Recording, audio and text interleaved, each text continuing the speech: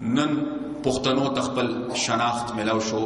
قوامي نېشنل پارټي خدای ما خپل لار پرې خوي او قوامي نېشنل پارټي د باچا خان بابا د ولی خان بابا خو لار پرې خوي نو نن به زمونږ د صوبې نوم خیبر پښتونخوا نو نن به زمونږ د صوبې هم اکه نوم چې کمزور نوم مولا انګريز را نن که خدای مکه مونږ خپل لار پرې خوي نو د تلسم ترمیم په نتیجه کې به شپږیش مختلف محکمې صوبو ته نه ملاوېدلې دا د عوامي نېشنل پارټۍ سیاست دا زمونږ د مشرانو سوچ او د هغوی بصیرت چې نن خدای موږ له دومره صوبوي خودمختاري راکړه چې موږ یې پر غونډولو ستړي شو زموږ په تصور کې نه وه دومره صوبوي خودماري مختاري شکر الحمدلله نن صوبو ته ملاو شوه دا د مشرانو برکت او دا د عوامي نشل پارټي سیاست نن که خدای مکه مونږ خپل خور خپل اختیار خپل لار پرې خوي نو د ان اف سي اوارډ په نتیجه کې به خیبر پښتونخوا صوبې ته په اربونو روپې اضافي وسایل نه ملاوي او دغه هغه وجه ده چې یو خواته مونږه دهشتګردۍ سره مخامخ یو یو عذاب دی یو مصیبت دی خو بل اړخ ته د ترکه سفر مونږ جاری ساتل دي دام د اسفندیار خان په قیادت کې ستاسو دعاګانې او زه ډېر په فخر دا خبره کوم چې یو خواته مونږه حالت جنگ کیو یو خواته یو قیمت ټول مرګر ادا کو یو قیمت لګیا وي مونږ ادا کو خو د 2009 10 یعنی د تیر کال ترقیاتی پروګرام چې کوم او سکال چې کوم ترقیاتی پروګرام دی د 2010 11 دا د تیر کال د ترقیاتی پروګرام نه و اویا فیصد سیوا دی او دا د صوبې په تاریخ کې لومړنی ځل دی چې دومره وی اضافه شوه نور کله چې به داسې غونډې کېدې او داسې موقع به جوړېدې ستاسو بیا دي نو ټول بر مونږ یو عهد کو یو وعده مونږ کوله خپل مشرانو سره خدي خدمتګارو سره چې باچا خان بابا او ولی خان بابا او خدي خدمتګارو کوم ارمانونه په خپل وړونو کې وړي دي مونږ هغه ارمانونه سره ترسو نن د یو لوی مورچې نه علاوه د یو لوی مسلې نه علاوه چې کوم بنگش صاحب ذکر وکړ زنن دلته کې د خپل پښتنو درونو او د مشرانو په مجلس کې شریک او شامل مو د پښتنو مشر قائد رهبر نن په دې غونډه کې پخپلا شریک او شامل دي نن ز خپل رهبر لومبارکي ورکوم چې زما رهبره زما مشره مبارک شه کبلې ډلې خپل سیاست ګټلې دی او کبلې ګټلې خو ستا په مشرۍ کې سری جنډې په درې کاله کې خپل سیاست ګټلې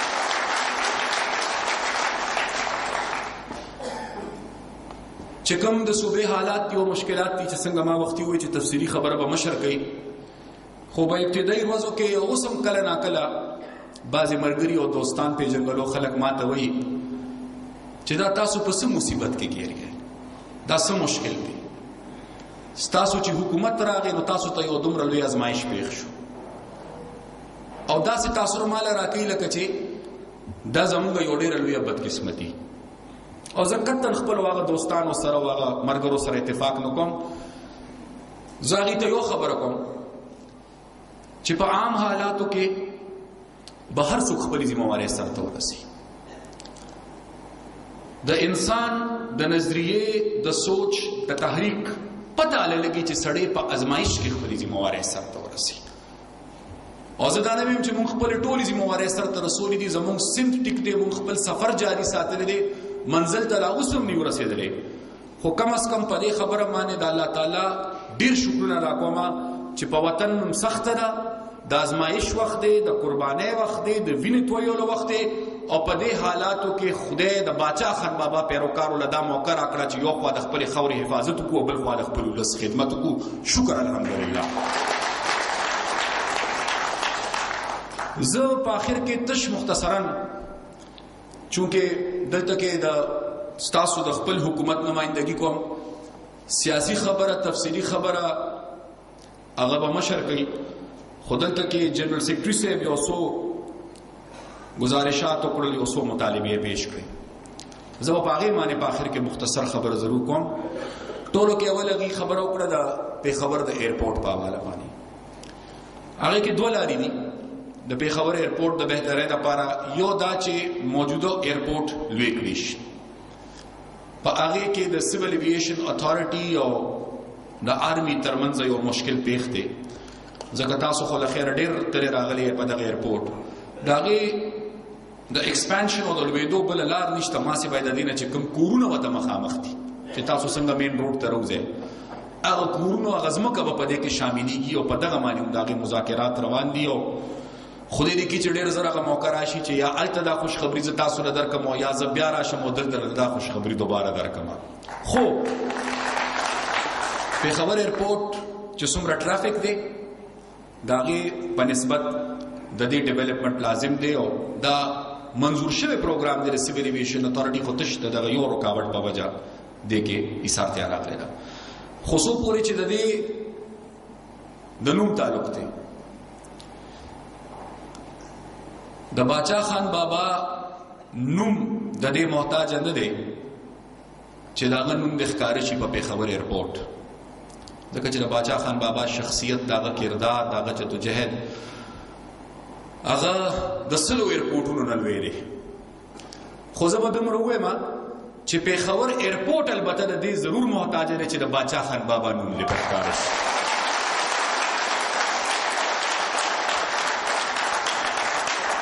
او تاسو نن غوښتنه وکړه خو دغه اسمبلی تاسو خپل اسمبلی ده لہذا د پښتونخوا اسمبلی د نن سوخ مخکې د دې پیښور ایرپورټ د نوم بدلولو او د دې لد باچا خان بابا ایرپورټ نوم ورکولو د ټولو سیاسي ډلو سره د چې بلا مخالفتونی خو د باچا خان بابا نوم چې راشي بیا سیاسي مخالفتونه ختم شي متفقه قرارداد صوبې اسمبلی شکر الحمدلله پاس کړل په دی حواله او د لندن تلو نه مخکې د هغه متفقه قرارداد یو کاپی ما وزیر اعظم صاحب لور کړی دا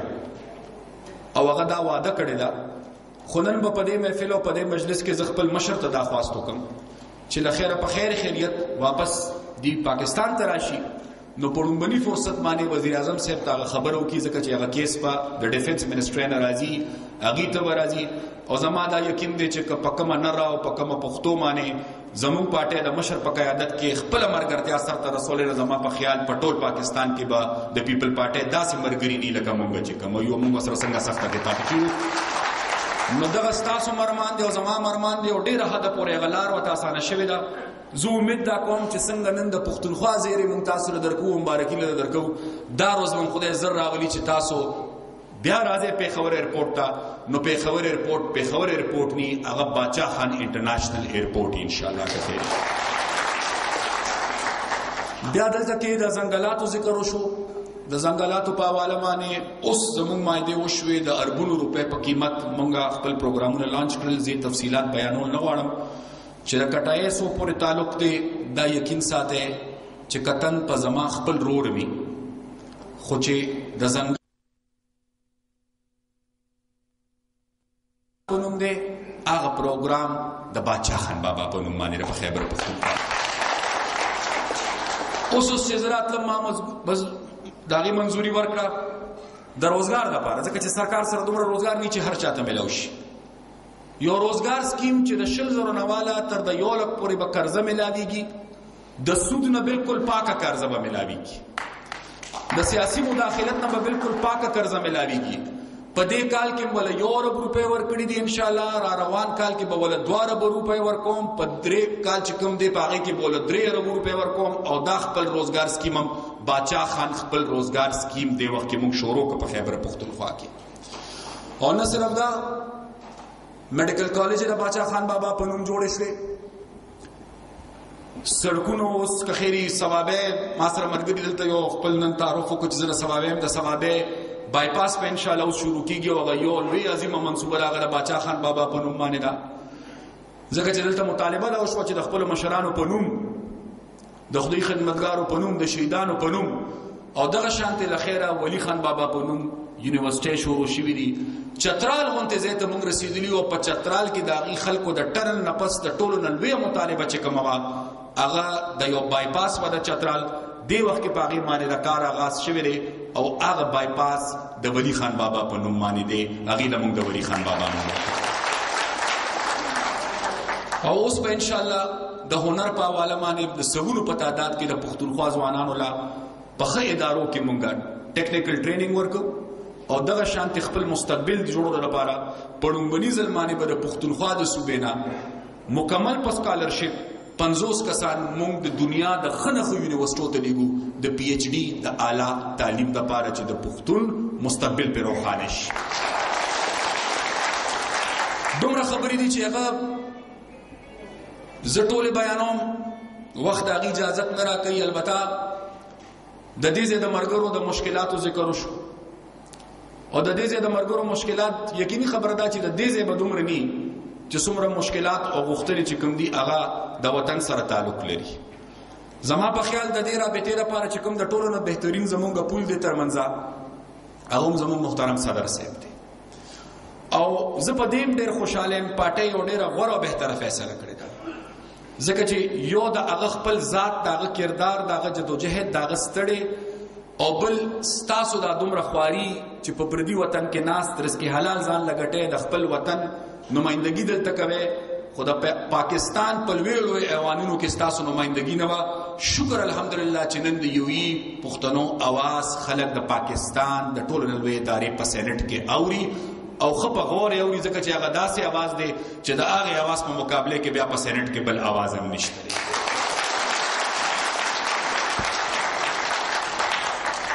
زه په اخر کې وتش دومره گزارش وکم چې کومه مرحله مونږ ته پاتې ده د وخت کې مرګرو مشرانو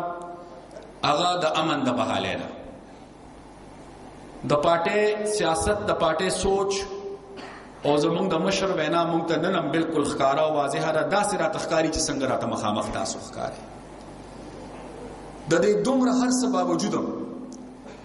چې په مشر باندې خودکش حمله وشوي زموږ ممبران شهیدان کړی شو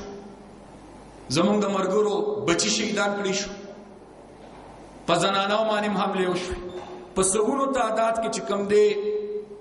د دې تحریک د سره جنډې مرګري چې کم دی هغه شهیدان شول خو بیا موږ د خپل مشر یو حکم دی چې هر هغه کس چې هغه د تشدد لار پری دی هر هغه کس چې هغه اسلک دی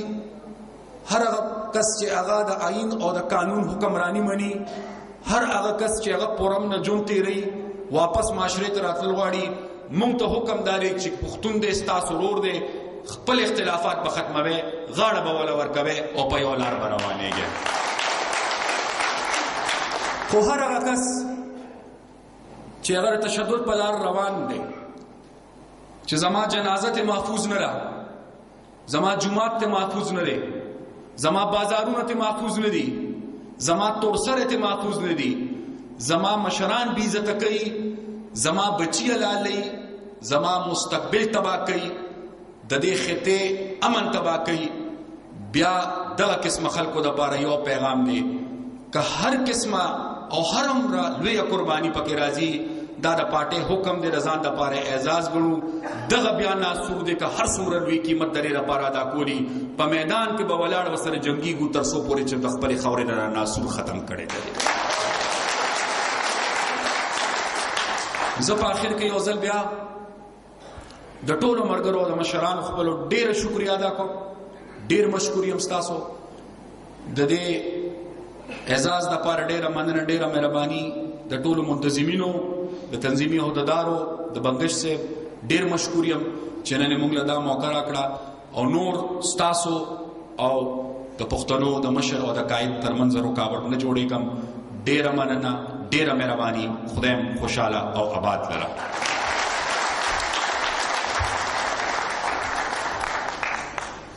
دا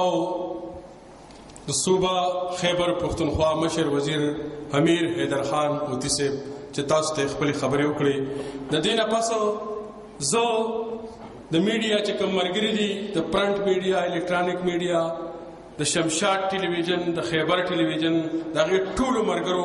ممنون او مشکورم چې رااله دلته کې او د دې پروګرام کورې جوړ کو ټول میډیا سره تعلق لرونکي سور مرګري چې زموږ راغلي دي دا غي ټول د عوامي نشل پارټي ویلي طرفه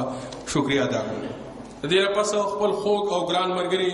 هغلی خالد خان اسرت سیبلا هم داغه په دې شعرونو باندې ما اقتداراتلو بل نه ورکوم چې ما سمره په ګرانه سمره ګران تصویر جوړ کړی دی ما سمره په ګرانه سمره ګران تصویر جوړ کړی دی زړه کې مې مرګرو د جانان تصویر جوړ کړی دی او زه ساده پښتون پیغام د امن او د مینې یم زه ساده پښتون پیغام د امن او د مینې يم تا ته مې چا اسې چرته روان تصویر جوړ کړی ښاغلی خالد خان حسرت صاحب له بله نور کوم چې راشي په خپل نظر ما وروي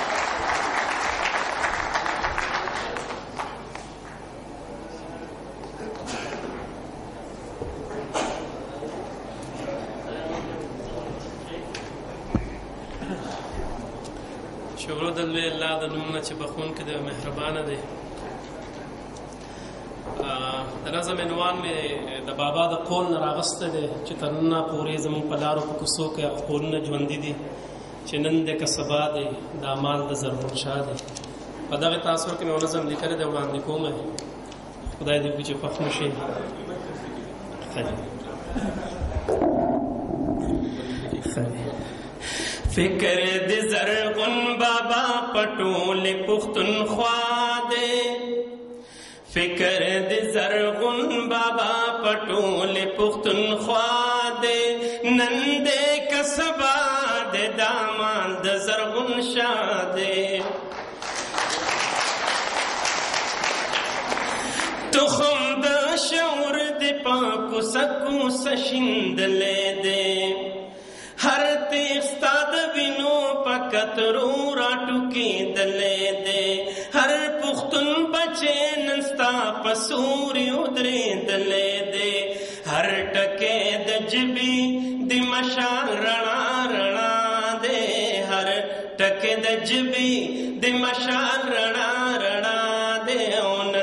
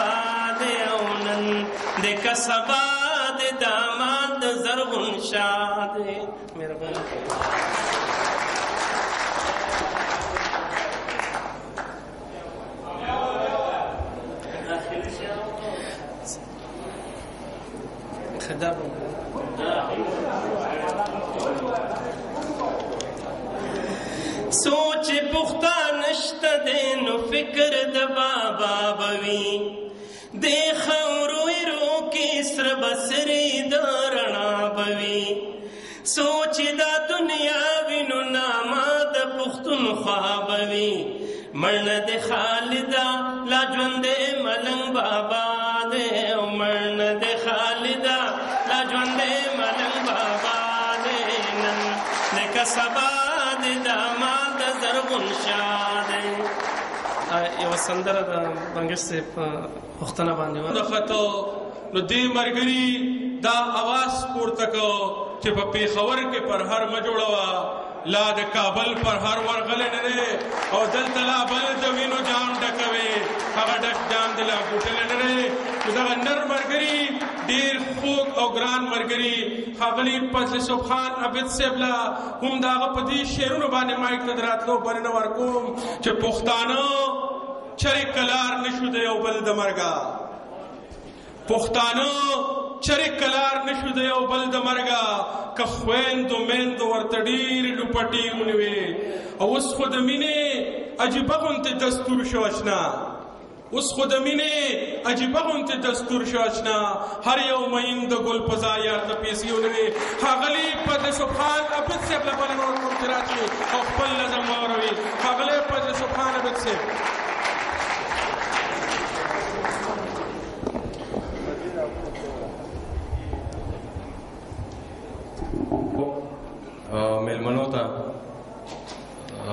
هر کله مې خپل ګران مشر ته د خپل طرفه د خپل تنظیم د طرفه د ټول شاعرانو ملګرو د طرفه او د پښتون فکر پښتنو ملګرو السلام علیکم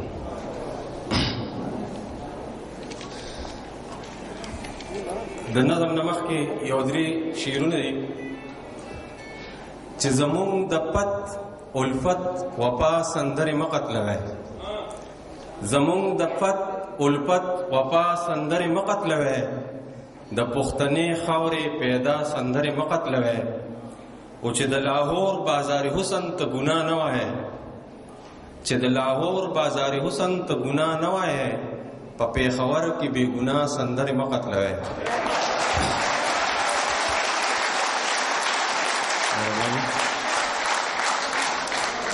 چې د لاهور بازار حسن ته ګنا نه وای په پیښور کې به ګنا سندره مقت لوي او د وګو تکو د بیوسه ژوند خبرو کې د وږو تږو د بې وسه ژوند خبره وکړئ چې دغه نه درځي مولا سندرې مه ختلوئ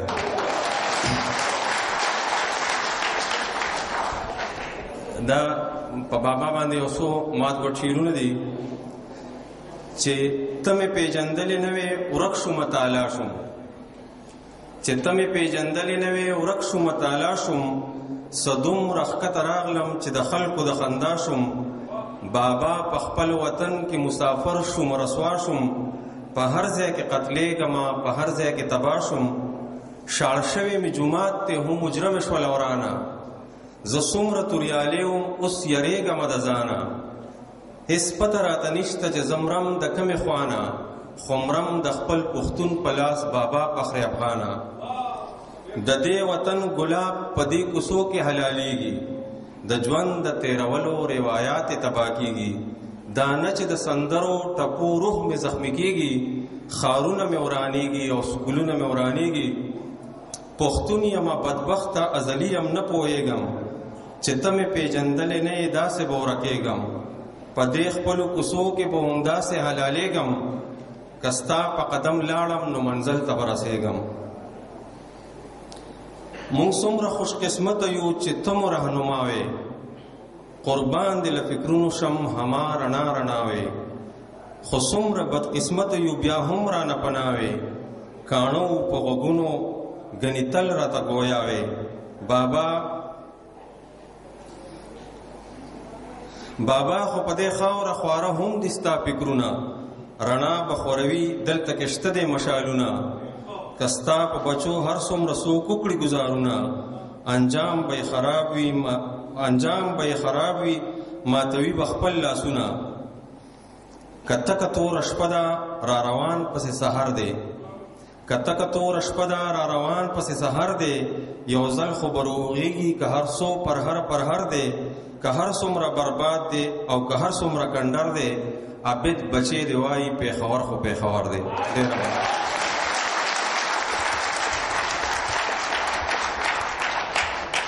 داو خاغله پنسوخان عابد سیبو د انتظار لازم په ختمېدو دی خپل ډیر خوږ او ډیر ګران مشر د عوامي نېشنل پارټۍ مرکزی مشر د پښتنو د قافلې سرلخر هغلی اسپندیار خان لا د پښتو په دې ټپه باندې مایک ته دراتلو بلنه ورکوم چې پټکې د کوک پتندې کې را پټکی د کوک په تندي کې ده پردی وطن د چې ډاډه در باندې يم هغلی اسفندیار خان له بلنه ورکوم چې راشي خپله وینا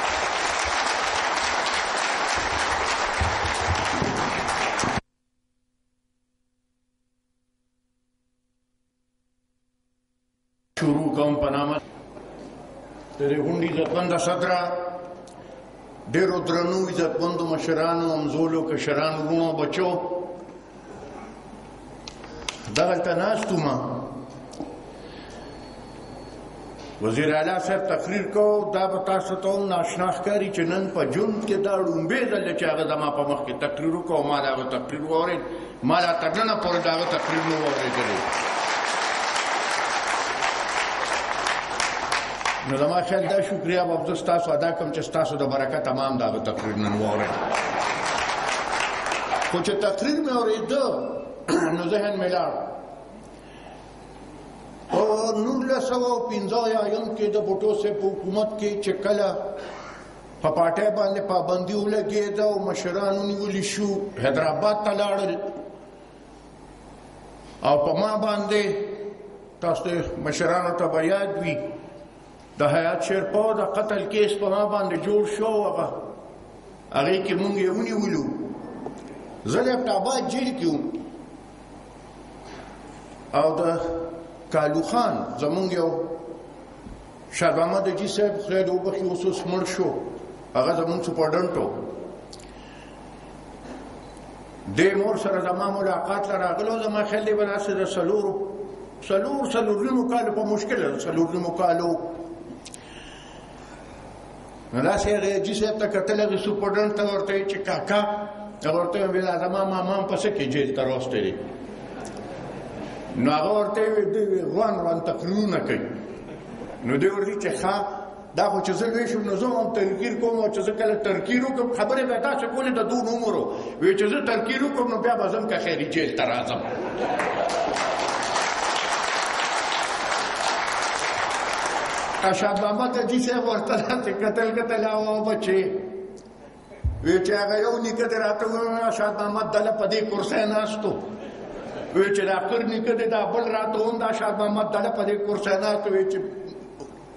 ولی خان راتوم وی دا دنه ناست وی چې دا محمد راتوم دا دنه ناست وی دا زما ستا په ردار کې ما چې ته هم ناراضي او زه هغه روز ته هم کوم نن حقیقت دا چې په دې ځای نه ساته نن د حیدر اپ خبره را یاد شوه چې زه به ترکیب کوم او ترکیب دونه ورته وې چې زماره توقعونه ډېر اوچتو یا نور د تاسو پر هغه نه تقریر نن حقیقت کې دلته د اخیرنی مقرر ته خدغه مسلې دغه ځکه ناست یو نقطه را چانه پاتې شي تا ځان را ټینګ کړی ته زه به دا ویم چې هغه بل راشي حق ته وای ها شاکر الله باچا زمونږ د ګجرو غړې او زور خري خدمتګار باچا خان بابا سره په دوره ته اوس په هغه دوره کې د غنی خانم روان شي په دوره